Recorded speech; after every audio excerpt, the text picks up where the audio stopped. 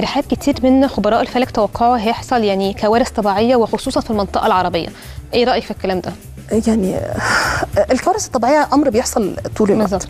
بس بسبب مجموعة من الزوايا كده مفعلة الكوارث الطبيعية الخاصة بالمياه وبالزلازل تحديدا في قارة آسيا عموما. فآه طبعا وارد. وبالمناسبة يمكن السنة دي آه، بالمناسبة كمان في نقطة إحنا السنة عندنا في الفلك ستنتهي في مارس 2024 يا جماعة إحنا لسه 2024 دي أحداثها مكملة معانا. فشهر فبراير يعني لحد أول 2025 تقريبا. آه، في الفلك السنة تبدأ في مارس مع مارس. بداية الربيع. ما هو يا جماعة بالعقل يعني في سنة إيه اللي هتبدأ والكوكب كله داخل بيت شتوي؟ أيوه. الفلك دوره الشمس بتبدأ من مارس. فبالنسبة لنا أنا لما باجي حتى أتكلم عن يناير وفبراير هم استكمالا لباقي 24 فبراير هيكون في آه، أمطار شديدة جدا. وفي أكتر من دولة هتتحول لكوارث. وربما كمان يكون في حدث يخص آه، انهيار كوبري أو آه، غرق سفينة كبيرة. آه، ففبراير شوية تقيل هيبقى دمه تقيل في الحوارات الميه لكن يمكن اللي أنا مهتمة بيه في نوفمبر أكتر التعطيل اللي هيحصل آه، ممكن ال applications يحصل لها مشكلة آه، ممكن زي ما قلنا حركة السفر أو كده. ودايما بنصح الناس. في تراجع عطارد بس إحنا شاهدنا ده كتير فخلاص تقريبا اتعودنا عليه يعني. وعلى فكرة وده دليل أيوة. يعني إحنا كل مرة بنتوقعه في فترة محددة. يعني إحنا. مش مثلا بنطلع نقول يا جماعة ما هو أكيد السنة هيحصل فيها قطع application لا أنا بحدد. في الفترة تحديدا من منتصف ديسمبر يمكن لحد آه، من منتصف نوفمبر لحد 9 ديسمبر. دي اسمها فترات تراجع عطارد والفترة دي بتكون لينا إحنا كبشر مش جيدة مثلا اشتري موبايل مش جيده أشتري عربية مش جيده إن أنا آخد قرار مهم يا جماعة الفترة دي كلنا ال- يعني كل ال electronics بالظبط بشكل عام. ومش كده وبس مش وقت مثلا أنا هاخد قرار إن أنا هسيب شغلي لا ده وقت تفكير وتخطيط مش وقت بداية ومش وقت جيد أبتدي مشروع وتحديدا زي ما قلنا الحاجات لو بتختص طب لو بأدوية. عمل جديد إحنا يعني في مشكلة يعني مثلا واحد قبل كده آه، مقدم السي في بتاعه في مكان واتقبل في الوقت ده مش هيشتغل يعني عشان تراجع وطارد لا هيبدأ. بس أقصد مش بناخد قرار يعني مش لسه هنا بفكر وأخطط لأن تمام. عادة بنكون عندنا تشويش وقلة تركيز. ما بتكونش فترة جيدة قوي للموضوع ده. عندنا حدث كمان مهم آه، تراجع المريخ. وما ادراك ما المريخ. يعني إن كان في نحس في الكواكب فهو المريخ. المريخ آه، من أول نوفمبر هيدخل برج الأسد وهيكون في اتصال سلبي جدا مع بلوتو. والمريخ هو الكوكب اللي بيحكم النار والحروب. ويمكن عشان كده أنا أول السنة أنا أول بسبب زوايا معينة قلت لهم يا جماعة على فكرة دي سنة حرب. أيوه حقيقي. فالمريخ كل ما بينتعش ويدخل برج ناري شبهه زي برج الأسد آه، بتشتعل حدة الحروب تاني بتشتعل حدة الحوادث والحرائق تاني. طب الفترة دي عشان أعديها ما هو الفلك برضه مش بس وبيقول لنا آه، أعمل إيه وما أعملش يعني مش هقعد أقول لك أسود لك الدنيا ما أقولش. من الفترة اللي هيدخل فيها البرج الأسد اللي هي زي ما قلنا من أول نوفمبر ابعدوا شوية عن طاقه اللون الأحمر لأن اللون الأحمر بيحكمه. آه، يعني زي ما ترامب كان لابس البيريه الحمراء. وقتها. قلت يا جماعة لل- ما تلبسوش. أحمر. أيوه. وخلوا بالكم الحوادث كلها هتحصل دلوقتي بأرقام زوجية. آه الأرقام والألوان ربنا خلق والله لو كان عايز يخلق الكون أبيض في أسود كان خلقه. فالألوان يعني دي دايما يا رحاب بقول ان توقعك دايما في محله. الحمد لله رب يجي في الخير وبس. آه، ف زي ما قلت الفترة دي تجنبوا اللون الأحمر على قد ما تقدروا. آه، وإن أنتوا آه، تحديدا لأن وارد يحصل أمر يخص احتفال احتفال كبير. آه، فتجنبوا الأماكن الاحتفالية أو الترفيهية الكبيرة. اللي فيها آه اللي فيها زحمة. أوكي. آه، طب آه، لو هنتكلم بقى على الأبراج شوية. okay. آه، مين الأبراج الأكثر حظا آه، مع نهاية 2024 آه، يظل لسه مكمل معنا لنص 2025 آه، برج الجوزاء. برج القوس آه، برج دول الاكثر حظا ولا الاقل حظا؟ لا الأكثر حظا. الأكثر حظاً. آه ولما باجي أتكلم أصل مثلا إحنا في أول السنة قلنا يا جماعة برج الجوزاء وبرج القوس محظوظين مثلا. فقالوا لنا وقلت لهم إن هم الاكثر ناس مرشحين للجواز يقولوا لي السنة خلصت ما اتجوزتش. يا جماعة إحنا بنحسب ب... يعني حسبة كواكب الكوكب اللي إحنا بنتكلم عليه ده مكمل معاكم نص 2025 فلسه عندك فرصة. لسه في أمل يعني. آه لسه في أمل. هم عندهم الحظوظ دي وفي بقى ك... في برجين والله أنا بهنيهم من كل قلبي. أصل الناس دي خرجت من دوامة طويلة. الجدي يعني الجدي صح والسرطان. أيوة. لا أيوة. الجدي ده عدى مقاسي لا ده مش مقاسي بس. الجدي آه، برج محكوم من كوكب زحل اللي بنتكلم أيوة. عليه. فهو بصراحة برج زحل ايده تقيلة على أولاده. فطبيعي إن هو كان منشفها عليهم. هم بقى لهم 15 سنة وتحديدا الناس اللي في الأربعينات دلوقتي. كتير منهم كان عندهم تعطيل في الجواز أو جوازات فاشلة أو جوازة طويلة آه، يعني صعبة عليهم. أغلبهم كان عندهم تعطيل في الجانب ده. الناس دي من يعني من الشهر ده ولغاية إن شاء الله الباقي من حياتهم يعتبروا إن في سحر أسود اتفك من عليهم. لأن هو كان عندهم كوكب بقاله 15 سنة بنقول عليه هو أصلا كوكب يعني يا عيني. يشبه السحر. يشبه اللعنه وناس كتير منهم كانت بتيجي بنشوف من خريطها الفلكية أقول لهم أنتوا طبعا لفتوا على المشايخ وقال لكم عندكم أسحار. لأنه تأثيره شبه السحر اللي هي البنت يا حرام اللي زي القمر ويدخل لها مليون عريس وما بتتجوز. صح. هو هو فعله اسمه فعل الهدم. الناس دي من السنة دي وتحديدا من منتصف 2025 لمنتصف 2026 يعني فعلا هيكون عوضهم خير. ده حقهم بصراحة آه بجد يتبهدلوا صبروا ونالوا. أيوة. آه طب كنترول بيسألني على 12 6 ده برج 12 6 6 الحمل صح؟ لا، ولا ده 12 السرطان مش كده يا السرطان جماعة؟ اخباره إيه السرطان معانا؟ ما إحنا قلنا ده هي سنه حظه السنة الجاية من. منتصف 2025 والمنتصف الجو... 2026 الجوزاء؟ بيقولوا لي الجوزاء؟ ما هو. جوزاء. أوكي الجوزاء زي ما قلنا هم عندهم أصلا المشتري كوكب الحظ وده يا جماعة معناه إن في كل واحد فيكم جاي له فرصة جاي له حاجة يحسن حاجة في حياته. لو أنت استغلتها صح هتفرق معاك في حياتك.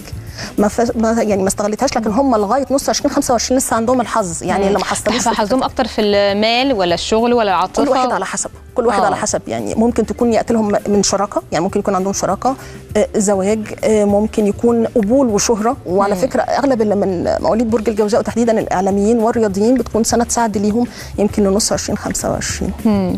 طب الأقل حظا بقى. وربنا يكون معاهم لآخر السنة كده. آه، الحوت والقوس. أوكي. آه، وده لينا كلنا يا جماعة. يعني اللي أنا هقوله دلوقتي يخصنا كلنا. ليه السنة دي كانت تقيلة؟ لأنها سنة انتحاس الروحانية. يعني إيه سنة انتحاس الروحانية؟ من الآخر كده بنقول عليها يعني إيه؟ سنة اختبارنا في يعني في إيماننا المطلق بربنا. ليه؟ هي سنة فيها تعطيل تقيل جدا.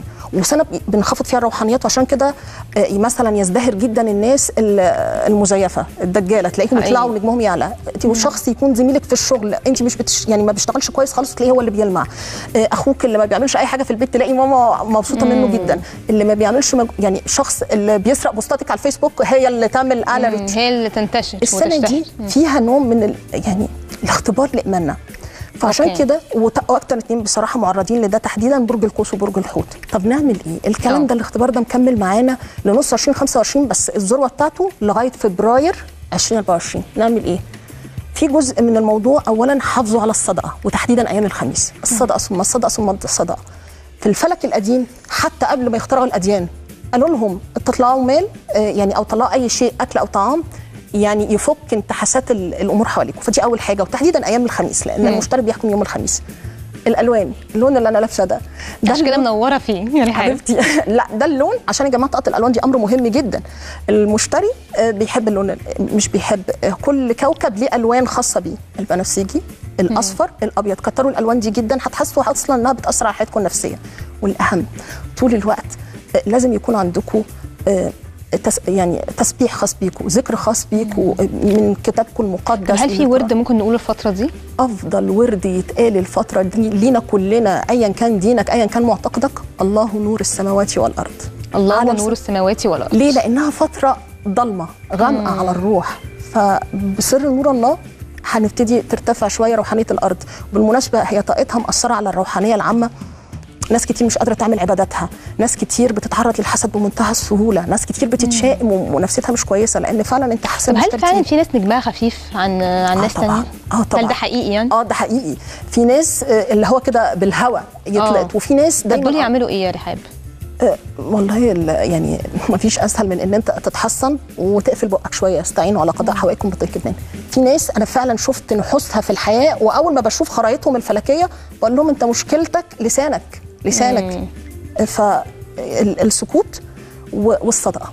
الصدقة يا جماعة مش بنتف... مش بنطلعها لما بنكون معانا فلوس. ده إحنا بنطلع الصدقة عشان ربنا يبارك لنا في الفلوس طبعاً. اللي معانا. طبعا. آه عشان في ناس رابطة إن أنا هطلع صدقة لما يبقى معايا فلوس والله. ده أنت كل ما يبقاش معاك فلوس عاند شيطانك وطلع صدقة أكبر. حتى بتوع الطاقه يقول لك إيه ما أنت لما تطلع فلوس بتوهم الكون إن أنت معاك فلوس. لكن هي لأ.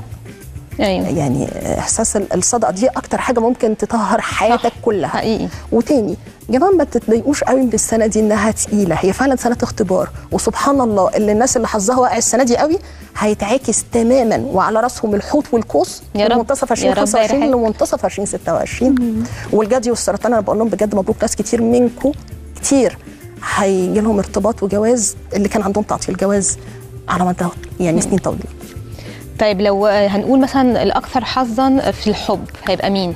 هنقول الشهر ده بقى. يعني آه، آه، ممكن برضو يظل القوس عنده آه، حظوظ عشان الزهرة عندهم. الزهرة هو كوكب الحب والعاطفة وممكن يكون عندهم حظوظ في الحب. وبرضو على فكرة برج الميزان عندهم حظوظ في الشراكة وفي الحب. وناس كتير هم أكتر ناس اتبهدلت السنة دي عشان كسوف الشمس وخسوف القمر كان دايما عندهم. فكتير منهم أنهوا علاقات. الناس دي بتنهي علاقات عشان تبدأ علاقات تانية على نظافة يعني. فاللي انهوا علاقات أنتم مرشحين جدا للسنين الجاية يكون عندكم ارتباط جدي يعني. وبالنسبة للعمل مين الاكثر حظا؟ آه يعني هنقول إن العقرب مثلا عنده حظوظ مالية في الشهر ده. بس دايما العقرب عنده حظوظ مالية. مين اللي قال كده؟ بجد؟ أنا بحس إن قال؟ دول يعني ربنا لا. مديهم بزيادة خصوصا في الجانب في الفلوس والعمل و... آه في العقرب في الخريطة الفلكية بيمثل بيت المال اللي غير متعوب عليه. بالظبط. أيوه. إيه ده؟ اللي هو يعني بيجي لكم. كل الفلوس دي بيت منين الميراث. فهم ممكن يعني منهم كتير بيكون عندهم حظوظ من الميراث. آه. على فكرة آه، من الحاجات اللي بيبقوا شاطرين فيها جدا الأمور اللي تتعلق بالاستثمارات والبيتكوينز والأسهم والكلام من ده. في آه هو. يخصهم. بس مفيش حاجة اسمها ما برضه يا جماعة مفيش حاجة اسمها كل برج العقرب. طبعاً، آه، طبعاً. يعني في واحدة مصممة تقول لي هو ليه الجوزاء منحوس على طول؟ قلت لها يا ستي محمد صلاح منحوس. المشكلة مش في مش في البرج. ما هو كل حد كل حد ليه خريطة بس كل- بالظبط. فلكيه زي ما انت قلتي لا تتشابه مع حد صح. تاني ملهاش علاقة بالبرج خالص إحنا عندنا كلنا أصلا هو البرج 12 توقع عام لكن مش لازم يكون كلنا عندنا ال عليكي 12 يعني. برج في خريطتنا الفلكية. طبعا. يعني عندنا ال 12 برج في الخريطة الفلكية. فليه في واحد منحوس وفي واحد محظوظ؟ اولا ربنا مقسم الأرزاق فمالكش حق تعترض على ده. حقيقي. تاني حاجة إن كل بني آدم يعني مثلا كل برج الجوزاء بيتولدوا عندهم حاجة من الاثنين ده أنا بدي على سبيل المثال إما قدرات آه، يعني آه، آه، الكلامية يعني شاطرين جدا في الكلام في الغناء. يعني. آه أو وعشان كده. بيبقى في إعلاميين كتير حتى برج الجوزاء أو في الكتابة أوكي. أو في الأعمال اليدوية أو المهارات اللي تتعلق بالقدم الرجلين عشان كده برضه لعيبة كورة كتير جوزاء أو لعيبة رياضيين. يبقى هم مميزين في الحاجتين دول. فلو أنت برج جوزاء دور على هواياتك اللي تتعلق باليد وبالحركة أو بالكلام. ده مثلا. ففي واحد يستغلها فينور وواحد تاني يفضل يبرطم باقي حياته. أنا مش محظوظ. وكلمه أنا مش محظوظ دي يا جماعة كارثة. شبه. لعنة. انت عملتها نفسك لأنه اعتراض على قدر ربنا. وفي نفس الوقت انت خلاص انت منحوس فاتفضل أنا عند ظن عبدي بيه. مش انت منحوس؟ اتفضل كمل نحس.